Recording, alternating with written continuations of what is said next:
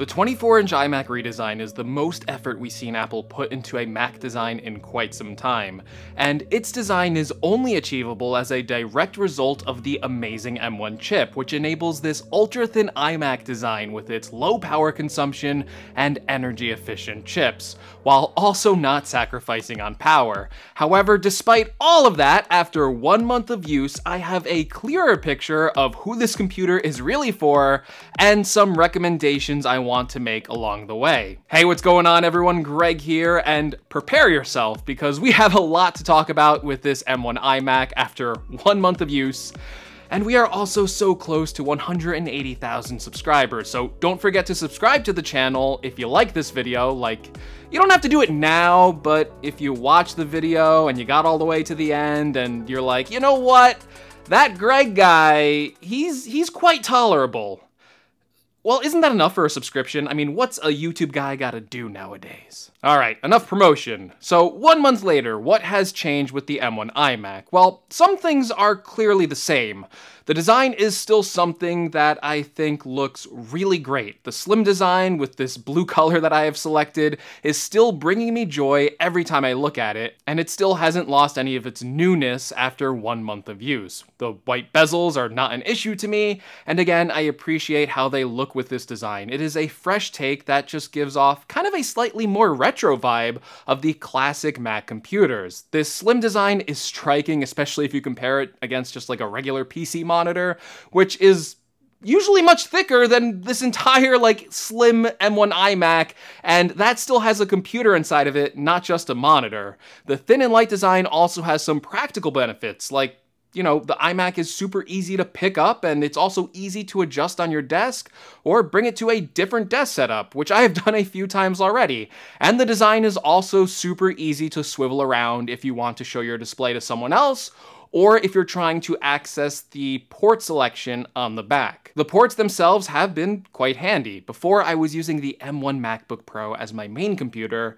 and that only had two Thunderbolt ports, while this mid-tier iMac model has two additional USB-C ports on top of that. Having those two additional USB-C ports has meant for the most part with this four-port selection, I have been able to just use the ports on the computer without necessarily having to plug in a Thunderbolt dock at all times times, but this method does require a few adapters. I think most people would probably benefit from a Thunderbolt dock though, and even on the entry-level model, that one only has two Thunderbolt USB-C ports, so if you just add a dock there, you get a much larger selection of ports, like USB-A, HDMI, SD card slots, and even an Ethernet port, which you don't have to worry about on the mid-tier model because that does have it in the power brick, so that's nice. But this still doesn't negate the fact that what I'm used to for the iMac as a desktop class computer is more ports. And a computer that is this big in this form factor, just having four data connections, it just seems like it is lacking somewhere. It is a regression from the previous 21 inch iMac, which just had more connections again, it's probably fine in 2021 on a modern day entry level computer where less everyday users are even thinking about using cable connections, but I think this port selection would be quite a stretch on an eventual bigger redesign of the 27 inch or the M1X iMac. One thing I hope that bigger iMac does take though is the excellent speakers on the 24-inch iMac. These speakers provide clear, room-filling sound and because they have Dolby Atmos support, it means you can listen to Apple Music spatial audio right on your iMac's built-in speakers or Dolby Atmos movies. I think the really cool eventual feature is the fact that the next version of macOS, you will be able to AirPlay directly to the iMac, meaning that you can take even more advantage of these speakers by using the as sort of a very expensive home hub. The promotional pictures of the iMac in a kitchen seem a little bit less silly with that in mind. The display is also really great. The 4.5K Retina resolution is sharp, the display gets super bright at up to 500 nits of brightness, which is great for use even near windows, and the P3 wide color gamut makes this a really good display to recommend for people who need accurate colors like photo editors or video editors.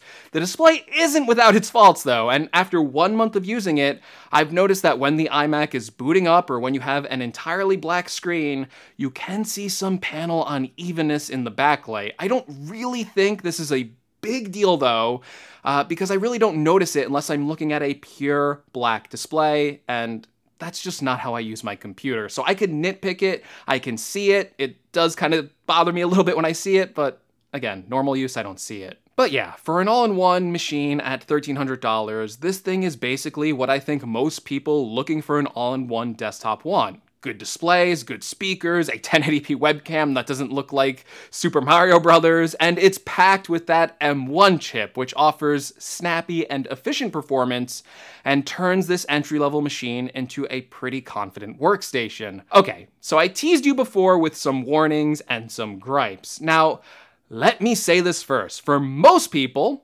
I still think the M1 machines, any of them, whether that's the Mac Mini, MacBook Air, all the way up now to this desktop class 24 inch iMac.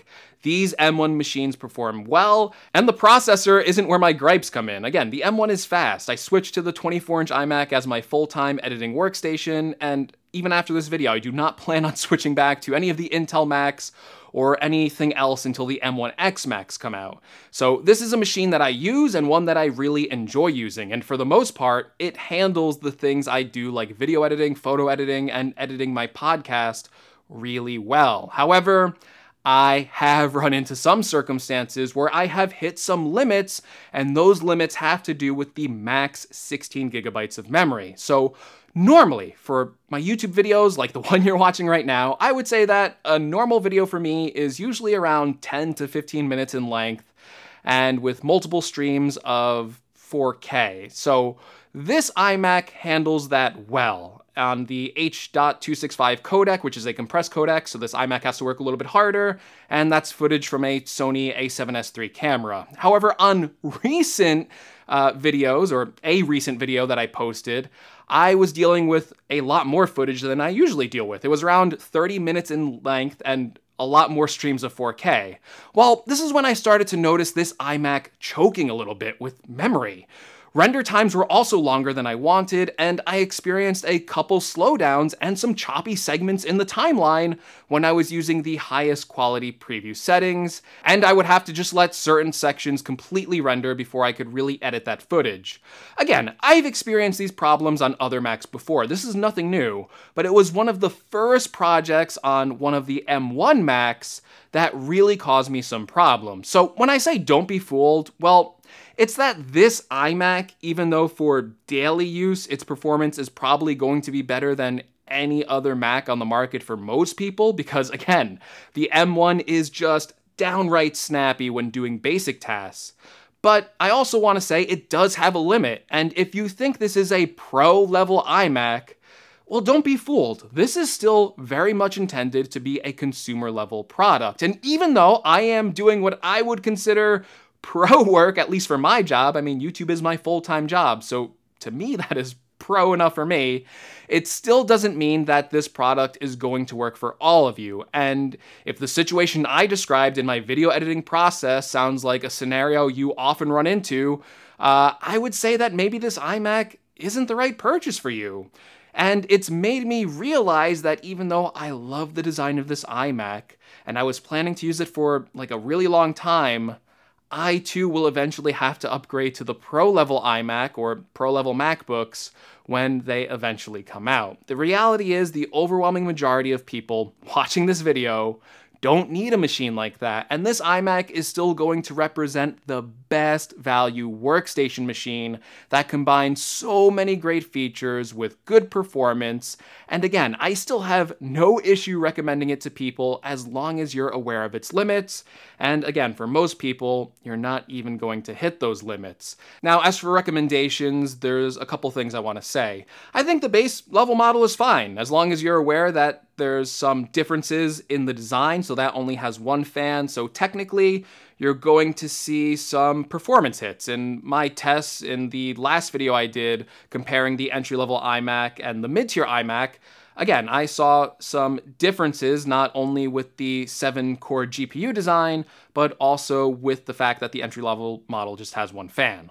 Another recommendation I would make is that if you are getting this for video editing, photo editing, uh, maybe even development, uh, anything that I would say you're making money from, or you're getting started with all this stuff. You know, the 8 gigabyte model, I get it, it's an attractive value, you know, $1,300 and you get all that and you walk out. Maybe that 8 gigabyte model is enough for most people. If you're really on a budget, I don't think there's a better machine you could buy with 8 gigabytes of memory. So it's still probably the one to get. Uh, but I would probably recommend 16 gigabytes if you are doing more intensive tasks. I don't want you to hit that you know, limit I hit even sooner on 8 gigabytes. So I really think 16 gigabytes is the safest recommendation. Again, if you're doing more of those intensive tasks, for basic tasks, I think 8 gigabytes will probably be fine. All right, everyone, but that is my update on the M1 iMac. One month later, still a great workstation, still my personal computer that I use over my old 27 inch Intel iMac because it excels in more areas than it fails but let me know what you think about the M1 iMac one month later. Did you purchase one? Do you plan to purchase one? Or is the 16 gigabytes of max memory a deal breaker for you? Also, if you are considering buying an iMac, consider using one of my affiliate links in the description below. And as always, thank you so much for watching. Really hope this video helped you out, and I will see you all in the next video. Take care, everyone.